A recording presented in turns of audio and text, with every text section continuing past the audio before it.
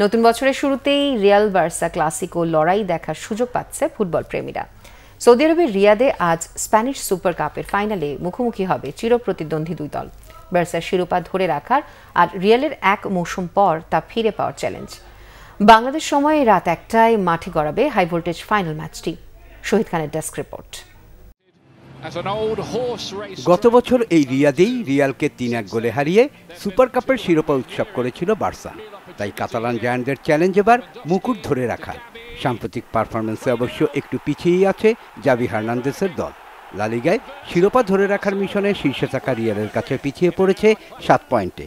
Champions লিগে সাক্তার দোনেস ও royal and ওয়ার্পের মতো দলের কাছেও হারতে হয়েছে রেকর্ড চোদ্দ বারের সুপার কাপ বিজয়ীদের।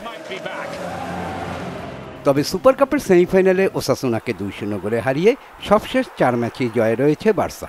টানা জয়কেই রিয়াদের কিং সাউথ ইউনিভার্সিটি স্টেডিয়ামে দলের অনুপ্রেরণা হিসাবে দেখছেন বার্সা কোচ। ফেভারিট মানছেন না প্রতিপক্ষকে। Concretament al revés moltíssimes vegades. এখানে আমাদের সৎ হতেই হবে মানতেই হবে। মাদ্রিদের থেকে আমরা সামান্য পিছিয়ে। তবে এটা যেহেতু ফাইনাল উভয়ের সম্ভাবনাই ফিফটি ফিফটি। সব প্রতিযোগিতা মিলিয়ে টানা বিশ ম্যাচে অপরাজিত রিয়ালের সব শেষ ছয় ম্যাচেও জয়। আত্মবিশ্বাসটা নিঃসন্দেহেই বাড়িয়ে দিয়েছে সুপার কাপের সেমিফাইনালে রোমাঞ্চকর জয়।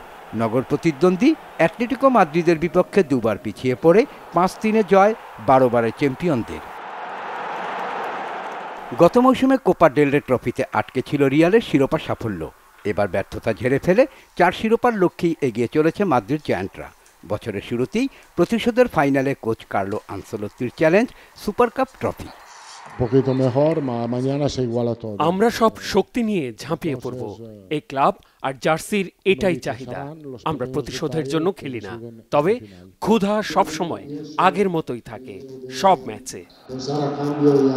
গত মৌসুম থেকে মুখোমুখি লড়াইয়ের সমানে সমান পরিসংখ্যান, দুই চির প্রতিদ্বন্দ্বীর। গত আঠাইশ অক্টোবর, বার্সার মাঠে লালিগার সাক্ষাৎ তিনাকে জিতে পাল্লা সমান রেখেছে Real.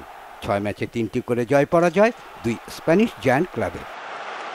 Shahid Khan, Bangla vision sports desk.